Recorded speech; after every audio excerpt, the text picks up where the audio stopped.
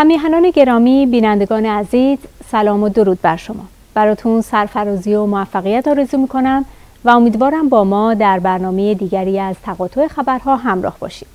در برنامه امروز این مطالب از نظرتون خواهد گذشت.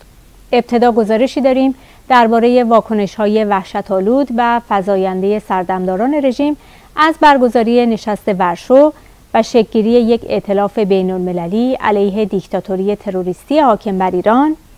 گزارش بعدی ما درباره ابراز وحشت از فضای مجازی در نمایش های جمعه روز گذشته خواهد بود.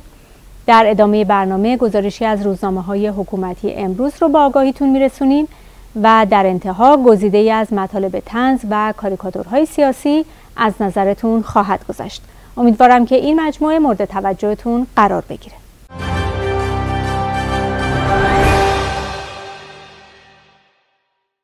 شکلگیری یک اجماع جهانی علیه رژیم در ورشو و مقابله بین المللی با سیاست صدور تروریسم و جنگ افروزی در منطقه کابوسیه که خواب رو از چشمان ایادی و سردمداران رژیم رو بوده. به خصوص که هر کشوری که اعلام شرکت در این کنفرانس می‌کنه این وحشت بیش از پیش نمایان میشه. به گزارشی در این باره توجه کنید. اعلام شرکت وزیر خارجه انگلیس در کنفرانس ورشو بازتاب گسترده‌ای در مطبوعات رژیم داشته است. از جمله سایت حکومتی تابناک متعلق به پاسدار رضایی دبیر مجمع تشخیص مسلحت رژیم با سوز و گداز به نقل از روزنامه گاردین می نویسد وزیر خارجه انگلیس شرکت در نشست ورشو را مشروط بر آنکه مایک پومپئو وزیر خارجه آمریکا در حاشیه آن میزبانی نشستی در خصوص یمن را بر عهده بگیرد پذیرفته است. هانت بعد از گفتگو با مایک پومپو در واشنگتن پذیرفته در این نشست شرکت کند. همچنین خبرگزاری حکومتی فارس نوشته است یک رسانه انگلیسی گزارش داده وزیر خارجه این کشور در کنفرانس ضد ایرانی که قرار است در لهستان برگزار شود شرکت خواهد کرد. وی در ارتباط با شرکت در کنفرانس ورشو نیز ضمن اعلام شرکت در این کنفرانس گفت که در اجلاس ورشو درباره تروریسم رژیم ایران سخنرانی خواهم کرد.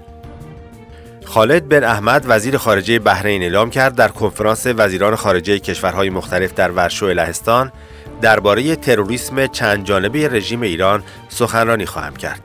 وی طی پیامی گفت ماه آینده کشورهای جهان برای گفتگو حول چالش هایی که امنیت و ثبات خاورمیانه با آن روبروست در ورشو گرد خواهند آمد و من در حالی که به آنچه دیگران می‌گویند خوب گوش خواهم کرد در رابطه با تروریسم چند وجهی رژیم ایران که هر روز با آن مواجه هستیم صحبت خواهم کرد. نمایش های جمعه در شهرهای مختلف کشور صحنه ابراز وحشت از کنفرانس ورشو بود. آخوند آل هاشم امام جمعه و نماینده خامنه ای در تبریز در رابطه با نشست ورشو گفت هدف استکبار جهانی حذف محور مقاومت در منطقه است یکی از دیپلمات‌های آمریکایی اعلام کرده است که در این نشست بر ضرورت اقدام علیه برنامه موشکی و اقدامات تحریک‌آمیز غیرقابل قبول از سوی ایران و سوریه و شلیک موشک به سوی صهیونیست‌ها نیز صحبت‌هایی خواهد شد.